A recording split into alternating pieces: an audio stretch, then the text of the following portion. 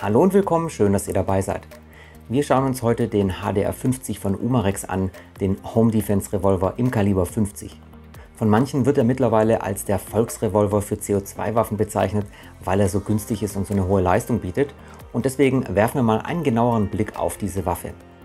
Im ersten Teil schauen wir uns die Material- und Verarbeitungsqualität und auch das Handling an. Im zweiten Teil werde ich dann verschiedene Messungen durchführen. Zum einen werde ich die Geschossenergie bzw. Mündungsenergie dieser Waffe mit einem Chronometer messen und auch eine Lautstärkemessung mit einem Dezibelmesser durchführen. Und zuletzt natürlich traditionsgemäß werde ich auch noch einen Schusstest machen, beziehungsweise ich werde ein bisschen was blinken. Also ich würde sagen, schnallt euch an, los geht's.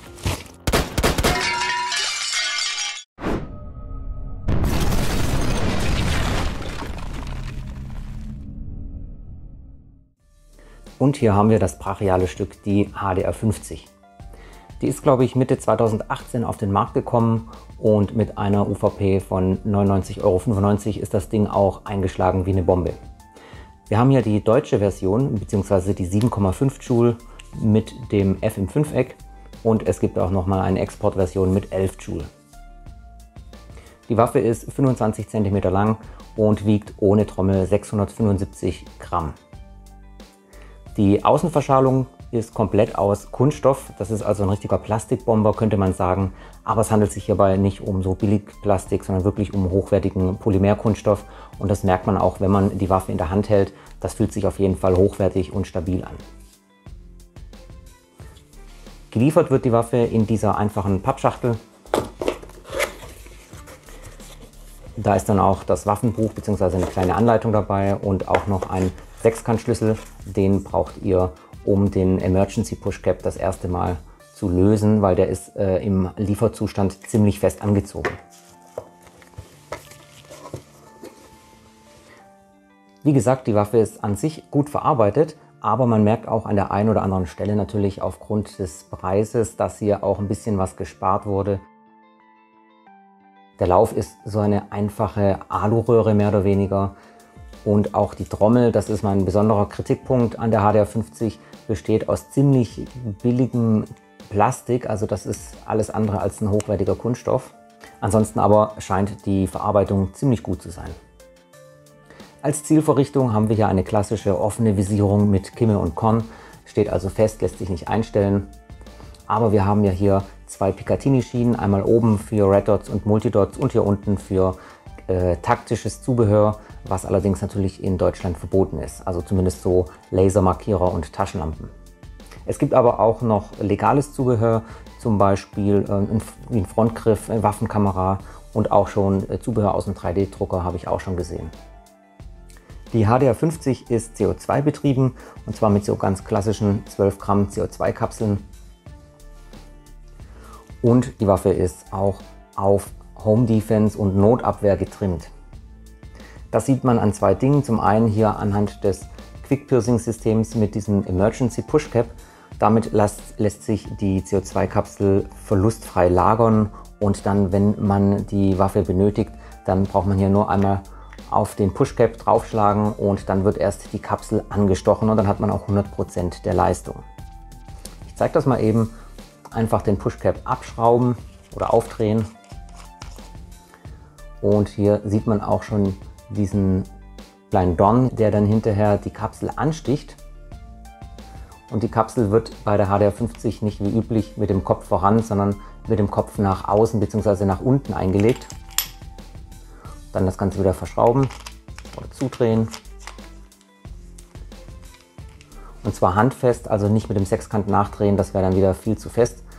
Und jetzt ist die Waffe geladen, Einsatz, also die CO2-Kapsel ist geladen und einsatzbereit. Natürlich muss noch Munition in die Trommel. Und jetzt könntet ihr die Waffe einfach irgendwo lagern und im Notfall dann eben, wie gesagt, einfach einmal schnell hier draufschlagen und dann wird die Kapsel angestochen.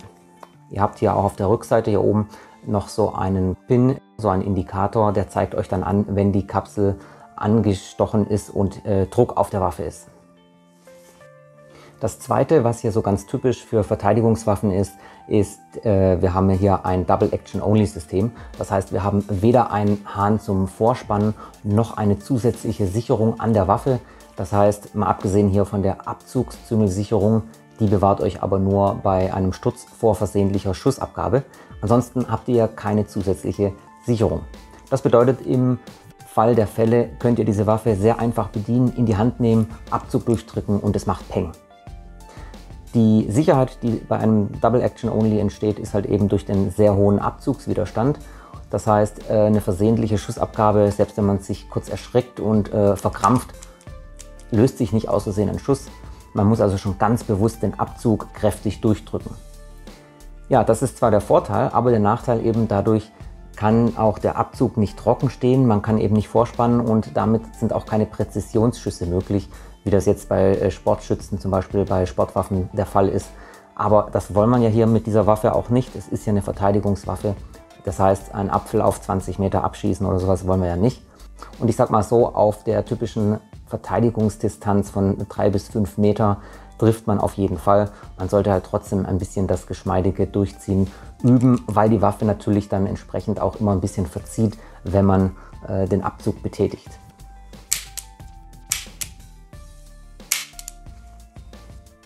Abschließend zeige ich euch noch schnell die Trommel bzw. auch das Befüllen der Trommel. Ihr könnt die Trommel entnehmen, indem ihr hier die Arretierung nach vorne schiebt und dann hier so einrastet und dann zum Beispiel mit dem Finger von hinten gegen die Trommel drücken und dann könnt ihr sie vorne entnehmen. Ich hatte ja anfangs schon erwähnt, dass die Qualität, die Material- und Verarbeitungsqualität der Standardtrommel nicht so überragend ist. Das ist also schon ziemlich billiges Plastik und wahrscheinlich ähm, verschleißen diese Standardtrommeln auch recht schnell. Sind dafür aber auch schon günstig, also kann man sich auch mit den Trommeln eindecken. Wenn ihr ein bisschen was Besseres haben wollt, kann ich euch die Tuning-Trommel empfehlen, von, äh, in dem Fall von Solidcore aus CNC gefrästem Aluminium. Die ist wirklich sehr stabil und auch hochwertig verarbeitet und ja, macht einfach Spaß damit zu schießen. Bleiben wir aber mal bei der Standardtrommel. Befüllt wird diese bei der HDR 50 von vorne. Man drückt das Geschoss dann einfach durch, bis es hinten auf der Rückseite bündig abschließt. Das ist jetzt hier zum Beispiel Hartplastikgeschoss, das Solid Strike von äh, Solidcore. Einfach wieder einlegen das war's. Geschossen habe ich mit der HDR 50 schon verschiedene Geschossarten, wie jetzt die gerade gezeigten Solid Cores, aber auch die, ähm, die, die Gummigeschosse von Solid Core, die Ultra High Speed Geschosse, habe ich damit schon viel verschossen und auch Geschosse aus dem 3D-Drucker. Zum Beispiel Slugmakers Best hat hier die Turbo Twists und das sind meine absoluten Favoriten, denn diese, diese Geschosse, die sind durch diesen turbinenartigen Lauf und mit der Stahlchromkugel ziemlich heftig. Also da habe ich auch beim äh, Messen mit dem Chronometer schon richtig gute Werte mit erreicht. Und ja, macht richtig Spaß mit zu schießen. Sind aber auch nicht gerade günstig mit einem Euro pro Stück. Slugmakers Best hat noch andere Geschossarten, Puncher Twist und wie sie alle heißen. Die passen aber beim HDR 50 leider nicht oder nur teilweise, manchmal eben. Aber Turbo Twist kein Problem. Da hat bis jetzt noch jede einzelne gepasst. Was ihr natürlich auch damit verschießen könnt, äh, klassischerweise Chromstahl und Glaskugeln und natürlich auch Paint, Powder und Pepperballs. Auf jeden Fall ist empfehlenswert, dass ihr die Geschosse einmal abmesst, also die, den Durchmesser bzw. die Passgenauigkeit prüft. Entweder habt ihr eine Schieblehre oder ihr holt euch so einen, so einen Ball-Sizer, die gibt es auch für ein paar Euro, nur um sicher zu gehen, weil wenn euch hier eben so ein Pepper- oder Powderball im Lauf äh, platzt oder in der Trommel, das ist natürlich eine Riesensauerei. Und noch ganz kurz zur Erweiterbarkeit, das hätte ich fast noch vergessen. Es gibt auch sehr viel Zubehör für die HDR50, was ich persönlich richtig gut finde. Das heißt, es gibt hier zum Beispiel äh, Tuning-Austauschteile wie einen Tuninglauf aus Stahl.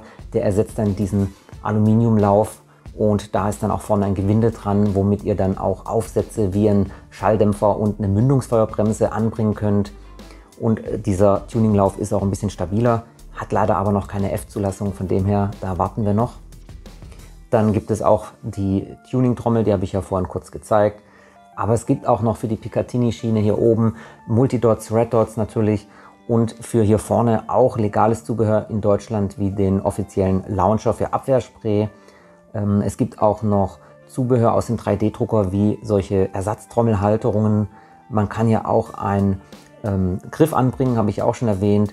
Es gibt für die HDR50 auch ein Polymer-Kunststoffholster. Also es gibt für die HDR50 eine ganze Reihe an Zubehör und Tuningteile, um diese Waffe noch ein bisschen zu pimpen. Natürlich alles auf legale Weise. Damit sind wir jetzt mit diesem Teil fertig und wir wechseln mal rüber zum Schießstand bzw. zu den Messungen. Die Geschoss- bzw. Mündungsenergie der HDR50 habe ich mit dem FX Pocket Chronograph gemessen. Das ist ein moderner Chronograph, der funktioniert nicht mal mit Lichtschranken, sondern mit ähm, Dopplerradar. Und ich habe verschiedene Testreihen über mehrere Tage verteilt durchgeführt. Dabei habe ich natürlich unterschiedliche Geschossarten verwendet und auch immer wieder was an der Testumgebung angepasst. Und es hat sich gezeigt, dass die Leistung der HDR50 wirklich ordentlich ist und dass man hier auf jeden Fall auch an die 7,5 Joule rankommt.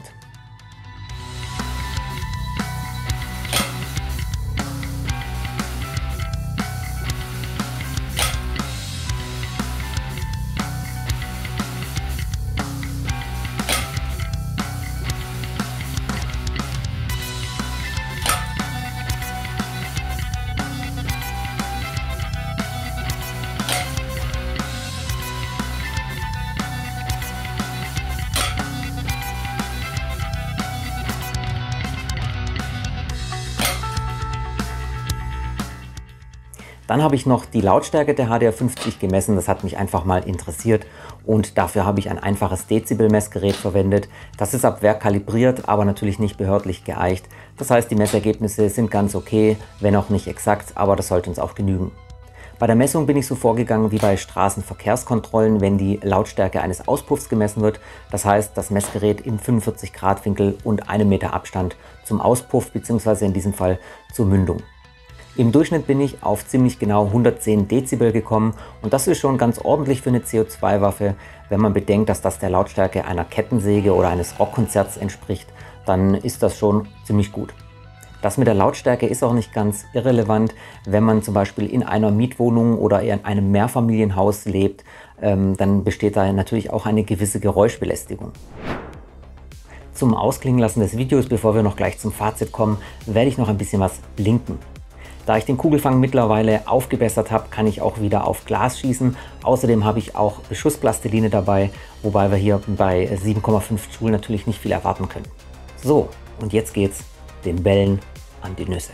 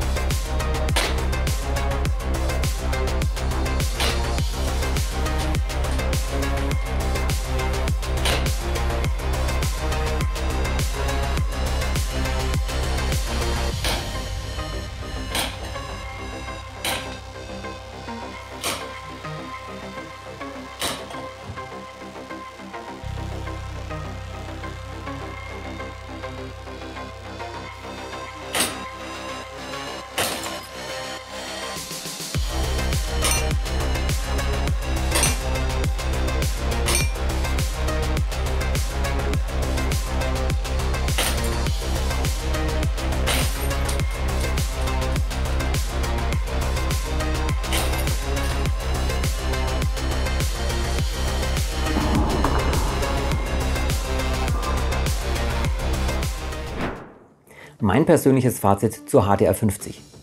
Ich bin wirklich begeistert von diesem CO2-Revolver. Die Verarbeitungs- und Materialqualität sind zu diesem Preis wirklich gut, mit Ausnahme eben der Standardtrommel. Und auch die Leistung ist hervorragend und das zu einem günstigen Preis. Diese Waffe eignet sich auch wegen ihrem dicken Kaliber und der Leistung für den Bereich Home Defense und Verteidigung. Es geht jetzt gar nicht darum, ob so etwas praktikabel ist, sondern rein nur von der Leistung vom Handling her wäre das eine Waffe, die dafür auch in Frage käme.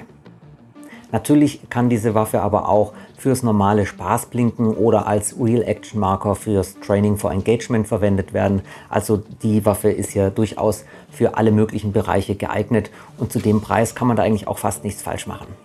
Was auch gut ist, eben wie gesagt, ist die Erweiterbarkeit der Waffe. Zum einen eben durch den Tuninglauf oder eben ganz besonders durch die Tuning-Trommel, aber auch das andere Zubehör, was es für die HDR 50 gibt, macht das ganze Ding eigentlich auch noch interessant, um es noch ein bisschen aufzupeppen.